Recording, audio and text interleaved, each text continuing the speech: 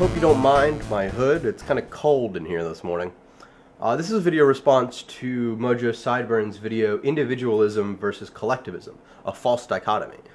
Um, and this is a video response where I'm actually going to agree with him because I'm very much a fan of Mojo Sideburns. Uh, and I very much agree with the message of his video. I do think it is a false dichotomy, and I think that he is completely correct when it comes to. Uh, well, fuck it, I'm just going to address you directly. That you're very correct. uh, you nail it right on the head of the coffin. Uh, essentially, we're a collective of individuals, uh, is what it is. We're. It's not either or. It's both.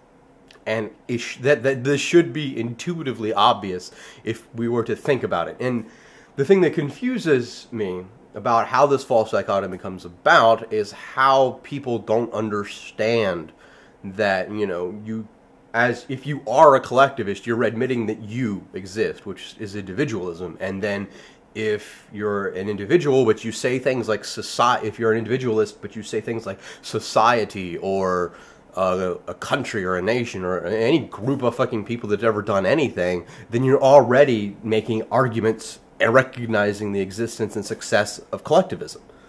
Um, but what I would like to do with this video really is to elaborate and uh, offer a sort of my own take and how I normally respond to this false dichotomy. Um, what I'll normally say is not only that we're an individual or that we're a collective of individuals, but that collectivism actually enhances our ability to be more unique individuals.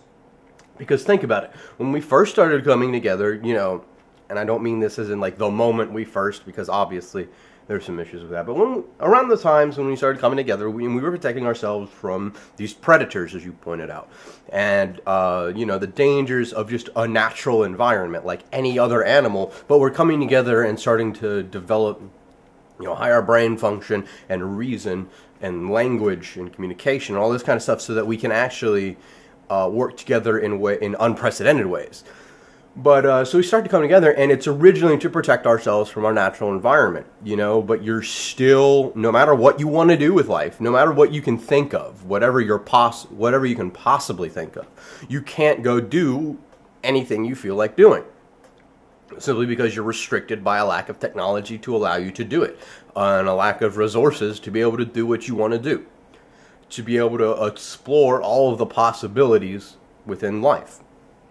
Um, by coming together, we form these societies and we form these uh, cultures and, uh, and, these nations, essentially, and to what we have now. And we, uh, through this, through this stability in nature, we we're able to develop things like technology so that each of us is more free to do what we want to do with our lives now than we ever were. Because you can still go back and live according to pretty much any time period you want to. Now, there's going to be some difficulties with that, of course. I'm not saying that, you know, it automatically opens it up and makes it perfect, but the option's there at least. And that's what that's what freedom and individualism is about is the about the freedom to choose what you want to do and you know according to how you feel what you actually desire to do so it's through our collectivism that we've managed to become such staunch individualists really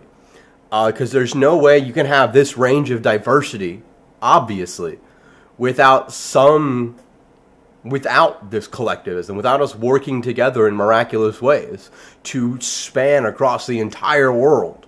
You know, these, these are incredible feats of accomplishment for just a single species. And it's through our collectivism that we can do it, and it's that collectivism which enables our individualism. And I keep, I know I've kind of repeated myself there a little bit. Uh, I haven't been awake that long. And it's been a while since I've done an agreement video, so I mean a little more lax, you know, I guess, in my approach to it. Um, anyway, that was enjoyable. Uh, enjoy whatever the fuck you're about to do after watching this video. And yes, I think I've determined that that's going to be a, some that or some variation on this. How going to be? I'm going to start closing out videos.